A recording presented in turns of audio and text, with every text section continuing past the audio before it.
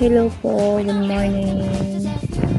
Ayan, nakita ko kasi sobrang laguna na.